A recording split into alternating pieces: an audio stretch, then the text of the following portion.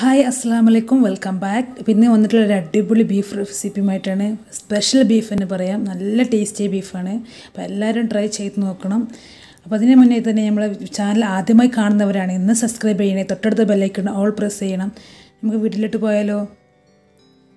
ഈ വീഡിയോ ഇഷ്ടപ്പെട്ടിട്ടുണ്ടെങ്കിൽ മറ്റുള്ളവരിലേക്ക് ഷെയർ ചെയ്തെടുക്കാനും മറക്കരുത്. അപ്പോൾ ഞാൻ എടുത്തിട്ടുള്ള രണ്ട് കിലോ ബീഫാണ് ആ രണ്ട് കിലോ ബീഫിലോട്ട് ഒരു അര ടേബിൾ സ്പൂണോളം മഞ്ഞൾപ്പൊടിയാണ് ഇട്ട് കൊടുക്കുന്നത്. ഈ ബീഫ് ഞാൻ വേവിച്ചെടുക്കുന്നത് കുക്കറിലാട്ടോ. കുക്കറിൽ വേവിച്ചെടുക്കുന്നത് നിങ്ങൾക്ക് സാധാ പാനിലാണെങ്കിലും അങ്ങനെയും ചെയ്യാവുന്നതാണ്. ഇത് പെട്ടെന്നായി കിട്ടാൻ വേണ്ടി ഞാൻ കുക്കർ ഉപയോഗിക്കുന്നത്. ഇതിലേക്ക് ആവശ്യത്തിന് ഉപയോഗിക്കുന്നത് ഉപ്പാണ്. ഉപ്പും കൂടി ചേർത്തെടുത്തിട്ട് നമുക്ക് ഇതിലേക്ക് ഉപ്പും കൂടി ചേർത്ത് കൊടുത്തതിന് ശേഷം പിന്നെ ഉപയോഗിക്കുന്നത് വെള്ളമാണ് ഇതിലോട്ട്. ആവശ്യത്തിനുള്ള വെള്ളം കൂടി ഒഴിച്ച് കൊടുക്കാം അതിനുശേഷം നല്ല രീതിയിലൊന്ന് മിക്സ് ചെയ്തെടുക്കുക. ഇതൊരു അടിപൊളി ബീഫ് കേട്ടോ നല്ല ടേസ്റ്റി ആയിട്ടുള്ള ഒരു ബീഫാണ് സ്പെഷ്യൽ ബീഫ് എന്ന് തന്നെ പറയാം. അപ്പം ഒന്ന് എല്ലാവരും ട്രൈ ചെയ്ത് നോക്കണം. മോഹൻലാൽ സ്പെഷ്യൽ ചിക്കന്റെ റെസിപ്പി ഒന്ന് മാറ്റി പിടിച്ചേട്ടാ. പക്ഷെ നല്ലത് ബീഫാണെന്നുള്ളൂ പക്ഷെ നല്ല ടേസ്റ്റ് നല്ല അടിപൊളി ടേസ്റ്റ് അപ്പോൾ ആരും ഇത് വെറുതെ ആക്കിയത് ഒന്ന് ഉണ്ടാക്കി നോക്കണം. ഫീഡ്ബാക്കൊക്കെ അറിയിക്കണം കേട്ടോ. അപ്പോൾ ഞാൻ ഇത് ഇളക്കി യോജിപ്പിച്ചതിന് ശേഷം കുക്കർ വെച്ച് അടച്ചു കൊടുത്തിട്ടുണ്ട്. ഒരു നാല് വിസിൽ വരുവോളം വെയിറ്റ് ചെയ്യാം. അതിനുശേഷം ഞാനൊരു തേങ്ങ പൊടിച്ചും ഇട്ടിട്ടുണ്ട്. അതിന് അതിന് മുക്കാൽ ഭാഗം തേങ്ങ എടുത്തിട്ടുണ്ട് കേട്ടോ ഇത് നമുക്ക് ചുട്ടെടുക്കണം. ഇതുപോലെ ഗ്യാസിലോ അടുപ്പിലോ എങ്ങനെ വെച്ചിട്ടായാലും ചുട്ടെടുക്കണം. ഇതൊക്കെ തേങ്ങ മസ്റ്റാണ് അത് ചുട്ടെടുത്തതിന് ശേഷം നമുക്കിത് നന്നായിട്ട് അടർത്തി കൊടുക്കാനുള്ളത് കേട്ടോ അപ്പോൾ എല്ലാ ഭാഗവും ഒന്ന് ചുട്ടെടുക്കണം. ചുട്ടെടുത്ത തേങ്ങ ഞാനിതാ ചെറിയ ചെറിയ കഷ്ണങ്ങളാക്കിയിട്ട് പാത്രത്തിൽ ഇട്ട് കൊടുത്തിട്ടുണ്ട്. ഈ തേങ്ങ എനിക്ക് ഇനി ക്രഷ് ചെയ്തെടുക്കണം. ഈ മിക്സിയിലായാലും കുഴപ്പമില്ല. അതുപോലെ അമ്മിക്കല്ലിൽ ഉണ്ടാവില്ല. അമ്മി ഇഞ്ചി വെളുത്തുള്ളിയും ചതക്കുന്ന കല്ല് അതിലായാലും കുഴപ്പമൊന്നുമില്ല കേട്ടോ. ഞങ്ങളുടെ മിക്സിയിലോട്ടാണ് ചേർത്ത് കൊടുക്കുന്നത്.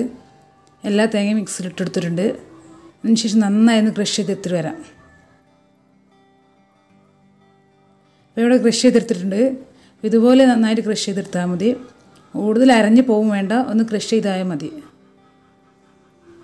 ചെറുതായിട്ട് കഴിക്കുന്ന രൂപത്തിലാവണം കേട്ടോ. ഒറ്റ ഒറ്റതണ്ട് അരഞ്ഞ് ഒരു നമ്മൾ കറി പോലെ ആവരുത്. പിന്നെ ഇതിലോട്ട് എടുത്തിട്ടുള്ളത് ഇൻഗ്രീഡിയന്റ് ആയിട്ടുള്ള ചെറിയ ഉള്ളി ഇട്ടോ. ഇതൊരിക്കലും ഇതിൽ വെല്ലുള്ളി ചെയ്യരുത്. ചെറിയുള്ളി തന്നെ ചെയ്യണം. നല്ല ടേസ്റ്റ് ചെറിയുള്ളിയിലാണ് ചെറിയുള്ളി ഒരു നൂറ്റൻപത് ഗ്രാമിന് മുകളിൽ എടുത്തിട്ടുണ്ട്. അതുപോലെ ഒരു വെളുത്തുള്ളി അതിന് വലുതാണെങ്കിൽ ഒരു ഒമ്പത് പത്ത് വെളുത്തുള്ളി എടുത്താൽ മതി. ഞാൻ ഇവിടെ കുറച്ച് അധികം എടുത്തിട്ടുണ്ട് കേട്ടോ.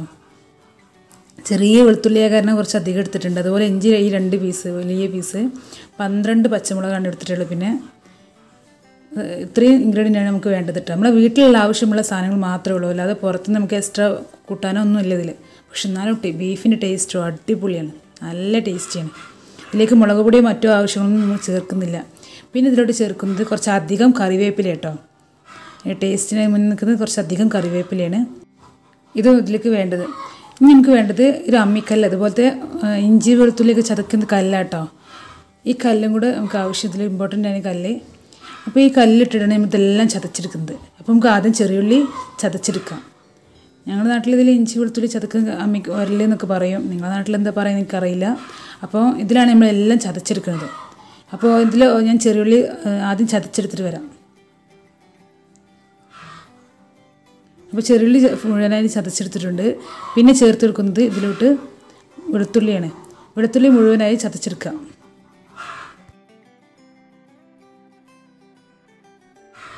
അപ്പോൾ ഇവിടെ ഞാൻ മുഴുവനായിട്ടും വെളുത്തുള്ളി ചതച്ചിട്ടുണ്ട് കേട്ടോ. നല്ല രീതിയിൽ തന്നെ ചതച്ചെടുത്തിട്ടുണ്ട്. അതിന് ശേഷം അത് നമുക്ക് ആ പാത്രത്തിലോട്ട് മാറ്റി വെക്കാം.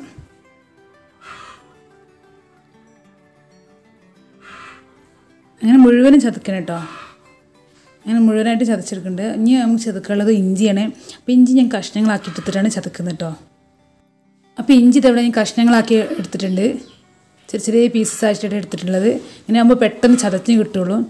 അപ്പോൾ ഇതും കൂടി ചതച്ചെടുത്തിട്ട് വരാം. പിഞ്ചിട്ട് നല്ല രീതിയിൽ തന്നെ ചതച്ചെടുത്തിട്ടുള്ളത്. മുഴുവനും ചതച്ചിട്ടുണ്ട്. നല്ല രീതിയിൽ തന്നെ ചതച്ചിട്ടുള്ളത്. ഇതും കൂടി നമുക്ക് ആ പാത്രത്തിലോട്ട് മാറ്റി കൊടുക്കാം.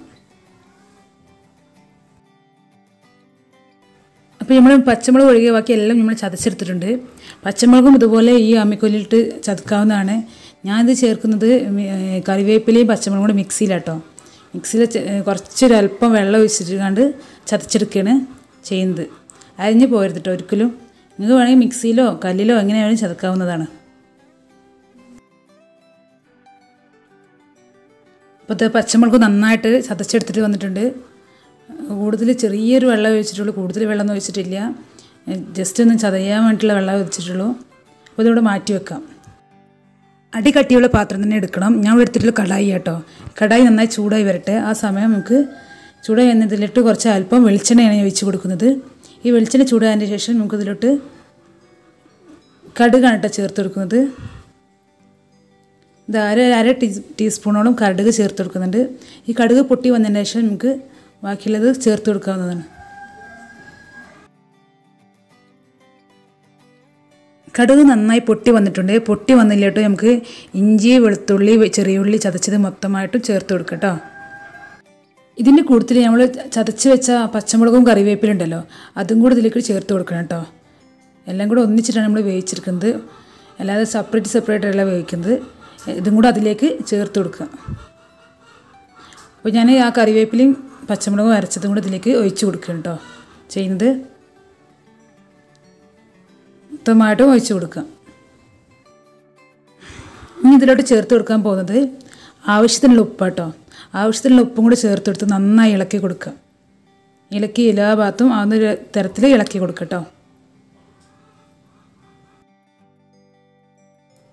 ആ സമയം കൊണ്ട് നമ്മുടെ ബീഫ് ഇവിടെ റെഡിയായി വന്നിട്ടുണ്ട്. ബീഫ് നല്ല രീതിയിൽ വെന്ത് വന്നിട്ടുണ്ട് കേട്ടോ നാല് വിസിൽ വരെ ഇതായിട്ടുള്ളൂ. പക്ഷെ പാകത്തിന് വെന്ത് വന്നിട്ടുണ്ട്. അല്പം വെള്ളമുണ്ട് കേട്ടോ അതൊന്നും കുഴപ്പമൊന്നുമില്ല. നമുക്ക് ഇതിലോട്ട് ഒഴിച്ചു കൊടുക്കാനുള്ളതാണ്. ഇപ്പം നമ്മുടെ ഉള്ളിയും പച്ചമുളകും കറിവേപ്പിലയും ഇഞ്ചി വെളുത്തുള്ളിയൊക്കെ അവിടെ നന്നായി വെന്ത് വന്നിട്ടുണ്ട് കേട്ടോ നല്ലോണം ഉടഞ്ഞിട്ടുണ്ട്. നല്ലൊരു കളറും വന്നിട്ടുണ്ട് കേട്ടോ ഇനി ഇതിലോട്ട് ചേർത്ത് സ്പൈസസ് ആട്ടോ. സ്പൈസസ് ചേർത്ത് കൊടുക്കാം നമുക്ക്. ഈ സമയങ്ങളും ഉപ്പൊന്ന് നോക്കിക്കൊണ്ടു. ഞങ്ങളുടെ ഉപ്പ് നോക്കിയപ്പോൾ എനിക്ക് ഉപ്പ് പാകമാണ് ഇനി നമ്മൾ ബീഫും കൂടെ ചേർക്കുമ്പോഴേ ഉപ്പിൽ എന്തെങ്കിലും വ്യത്യാസം വരികയാണെങ്കിൽ അപ്പോൾ ചേർത്ത് കൊടുത്താൽ മതി. അപ്പോൾ ഒരു ടീസ്പൂണോളം മഞ്ഞൾപ്പൊടിയാണ് ഇതിലോട്ട് ചേർത്ത് കൊടുക്കുന്നത്. പിന്നെ ഇതിലോട്ട് ചേർത്ത് കൊടുക്കുന്നത് ഒരു ടേബിൾ സ്പൂണോളം പെരിഞ്ചീരക കേട്ടോ പെരിഞ്ചീരകം എന്ന് പറഞ്ഞാൽ വലിയ ജീരകമില്ലേ അത് ആ ജീരകമാണ് ചേർത്ത് കൊടുക്കുന്നത്. പെരിഞ്ചീരകത്തിന്റെ പൊടിയാണ് പിന്നെ ഒരു ടീസ്പൂണോളം കുരുമുളക് പൊടി. കുരുമുളകിന് പൊടിയാണ് ചേർത്ത് കൊടുക്കുന്നത് കേട്ടോ. പിന്നെ ഒരു ടീസ്പൂണോളം ഗരം മസാലയാണ് ചേർത്ത് കൊടുക്കുന്നത്. ചില്ലി ഫ്ലേക്സ് ആണ് ചേർത്ത് കൊടുക്കുന്നത് അത് അതും ഒരു ടീസ്പൂണോളം ചേർത്ത് കൊടുക്കുക ഞാൻ അവിടെ പറഞ്ഞു തന്നിട്ടുള്ള രണ്ട് കിലോ ബീഫിന്റെ അളവാട്ടോ. ഈ പൊടികൾ ഇതുപോലെ തന്നെ നിങ്ങൾ ചേർത്ത് കൊടുക്കണം. ചേർത്ത് നന്നായി മിക്സ് ചെയ്ത് കൊടുക്കുക. ഇതിൽ കൂട്ടുകയാണെങ്കിൽ ഇതിലും കൂടുതലായിട്ട് എടുക്കുകയാണെങ്കിൽ അതിന്റെ അളവ് കൂട്ടാവുന്നതാണ് കേട്ടോ ഇതെല്ലാം കൂടി നന്നായി മിക്സ് ചെയ്ത് കൊടുക്കുക. ഇതിന്റെ പച്ചമുളക് മാറുന്ന വരെ നന്നായിട്ട് വരറ്റി കൊടുക്കുക കേട്ടോ പച്ചമുളക് ചേർത്ത് കാരണം മുളക് പൊടി ഒട്ടും ചേർക്കില്ല ഇതിൽ ഈ ഈ ബീഫിൽ മുളക് പൊടിയും മല്ലിപ്പൊടിയും നമ്മൾ ചേർക്കുന്നില്ല. പക്ഷെ ഇതൊരു അടിപൊളി ബീഫാണ് നല്ല ടേസ്റ്റിയാണ് അത് ചേർത്തില്ലെങ്കിലും ഈ ബീഫ് ഉഗ്രൻ കേട്ടോ അത്രയും ഞാൻ അങ്ങനെയും പറയുന്ന അത്രയും ടേസ്റ്റിയാണ് ഒരു തവണയെങ്കിലും നിങ്ങൾ ട്രൈ ചെയ്ത് നോക്കണം. അപ്പോൾ ചെയ്താലേ നിങ്ങൾക്ക് ഇതിന്റെ ടേസ്റ്റ് മനസ്സിലാവുള്ളൂ.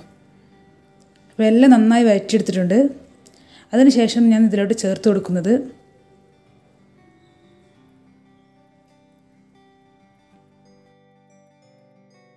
നമ്മൾ നേരത്തെ മാറ്റി വെച്ച ആ ചുട്ട തേങ്ങ ഉണ്ടല്ലോ. ചതച്ച് വെച്ച ആ തേങ്ങയാണ് ഇതിലോട്ട് ചേർത്ത് കൊടുക്കുന്നത്. അതും കൂടി ചേർത്ത് നന്നായി മിക്സ് ചെയ്തെടുക്കുക കേട്ടോ നല്ല രീതിയിൽ മിക്സ് ചെയ്യണം. എല്ലാ ഭാഗത്തും ഒരുപോലെ ആവുന്ന തരത്തിൽ മിക്സ് ചെയ്തെടുക്കണം. പിന്നെ അതിന്റെ പച്ചച്ചവൊക്കെ മാറി വരണം കേട്ടോ നല്ല ഡ്രൈ ആയി നിൽക്കണേ. അപ്പോൾ ഈ ഡ്രൈ ആയതിലേക്ക് നമുക്ക് ഒട്ടും വെള്ളം നമ്മൾ ചേർത്തിട്ടില്ല.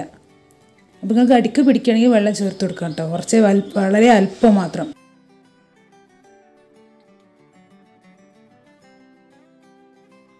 പിന്നെ ഇതിലോട്ട് ചേർത്ത് കൊടുക്കുന്നത് നമ്മൾ ബീഫാണ്.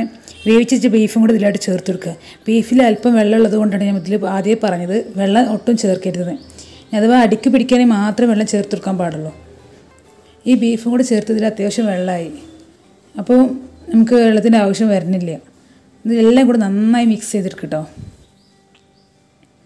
എന്നിട്ട് ഒന്ന് വറ്റിച്ചെടുക്കാനുള്ളതാണിത്. എല്ലാം നല്ല രീതിയിൽ തന്നെ മിക്സ് ചെയ്തെടുക്കണം. ഈ മസാല എല്ലാം ബീഫിലോട്ട് ഇറങ്ങി ഇറങ്ങി ചെല്ലുന്ന രൂപത്തിൽ തന്നെ മിക്സ് ചെയ്തെടുക്കണം. നമുക്ക് കുറച്ച് സമയത്ത് ഇളക്കിക്കൊണ്ടേ എടുക്കാം. എല്ലാ ഭാഗത്തും ആകുന്ന തരത്തിൽ തന്നെ മിക്സ് ചെയ്ത് കൊടുക്കട്ടോ എല്ലാ ടൈപ്പ് ബീഫ് നിങ്ങൾ കഴിച്ചിട്ടുണ്ടാവും. പക്ഷെ ഇതുപോലത്തെ ഒരു ഐറ്റം ടൈപ്പ് നിങ്ങൾ കഴിച്ചിട്ടുണ്ടാവരുത് വരെ അത്രക്കും ടേസ്റ്റ് കേട്ടോ ബീഫ് നമ്മൾ വറ്റി വരുന്ന സമയം കൊണ്ട് നമുക്ക് കുറച്ച് അല്പം മല്ലിയില എടുത്ത് മിക്സിയിൽ ഒന്ന് ക്രഷ് ചെയ്തെടുത്ത് വരാം അത് അരിഞ്ഞിട്ടില്ലെങ്കിൽ കുറച്ചൊരു അല്പം വെള്ളം ചേർത്ത് കേട്ടോ ഞാൻ ഇവിടെ കുറച്ച് അല്പം വെള്ളം ചേർത്ത് കൊടുത്തിട്ടുണ്ട്. അതിന് ശേഷം നന്നായിട്ടൊന്ന് ക്രഷ് ചെയ്തെടുത്തിട്ടുണ്ട്. അതും കൂടി ഈ ബീഫിന്റെ മുകളിലോട്ട് ഒഴിച്ചു കൊടുക്കാം. നമ്മൾ ബീഫ് ഇവിടെ ഏകദേശം വറ്റി വന്നിട്ടുണ്ട്. ഇതും കൂടി ഈ ബീഫിന്റെ മേലോട്ട് ഒഴിച്ചു കൊടുത്തിട്ട് നന്നായി ഒന്ന് മിക്സ് ചെയ്തെടുക്കുക എല്ലാ ഭാഗത്തും ആകുന്ന തരത്തിൽ തന്നെ മിക്സ് ചെയ്യണം കേട്ടോ നല്ലോണം എല്ലാ ഭാഗത്തും ആ ചപ്പിന്റെ ടേസ്റ്റ് കിട്ടുകയുള്ളൂ നമുക്ക്. അപ്പോൾ ഇങ്ങനെയാണ് നമ്മൾ ബീഫ് വേണ്ടത്. ഒന്നും കൂടി ഡ്രൈ ആയിട്ട് കേട്ടോ അപ്പോൾ നമ്മുടെ ബീഫ് ഇവിടെ റെഡി ആയിട്ടുണ്ട്. നല്ല ഇതിൽ കുക്കായി വന്നിട്ടുണ്ട്. മസാലകളൊക്കെ നമ്മുടെ ബീഫിലോട്ട് ഇറങ്ങി ചെന്നിട്ട് നല്ല ടേസ്റ്റ് ആയിട്ടുണ്ട് ബീഫ് കേട്ടോ ഈ സമയം നിങ്ങൾക്ക് അല്പം ഉപ്പില്ലെങ്കിൽ ചേർത്ത് കൊടുക്കാമെന്ന് കേട്ടോ. അപ്പോൾ അത് കളറൊക്കെ ചേഞ്ച് ആയി വന്നിട്ടുണ്ട്. നല്ല രീതിയിൽ കളറായിട്ടുണ്ട് നമ്മളിതിലോട്ട് മല്ലിപ്പൊടിയും മുളക് പൊടിയും ചേർക്കാത്ത കാരണം നമ്മളെ ബീഫിന്റെ കളർ തന്നെ ഒരു പച്ച കളറാണ് കേട്ടോ. അപ്പോൾ നമ്മൾ ബീഫ് ഈ സമയം സ്റ്റൗ ഓഫ് ചെയ്ത് ചെയ്തതിന് ശേഷം നമുക്ക് സർവിങ് പ്ലേറ്റിലോട്ട് മാറ്റാവുന്ന കേട്ടോ അപ്പോൾ അടിപൊളി ബീഫാണ് എല്ലാവരും ട്രൈ ചെയ്ത് നോക്കണം. നല്ല ടേസ്റ്റിയാണ് ഈ കാണുന്നത് പോലെയല്ല നല്ല ടേസ്റ്റ് കേട്ടോ അപ്പോൾ ട്രൈ ചെയ്ത് ഫീഡ്ബാക്കൊക്കെ അറിയിക്കണം. പുതിയ വ്യൂവേഴ്സ് ഒക്കെ ഉണ്ടെങ്കിൽ നമ്മുടെ ചാനലൊന്ന് സബ്സ്ക്രൈബ് ചെയ്യണം കേട്ടോ തൊട്ടടുത്ത ബെല്ലൈക്കണം ഓൾ പ്രസ് ചെയ്യണം. ലൈക്ക് ചെയ്യാനും കമന്റ് ചെയ്യാനും ഒന്നും മറക്കരുത്. അപ്പോൾ ഇതുപോലത്തെ റെസിപ്പീസിനായി നമ്മൾ ചാനൽ സബ്സ്ക്രൈബ് ചെയ്യുക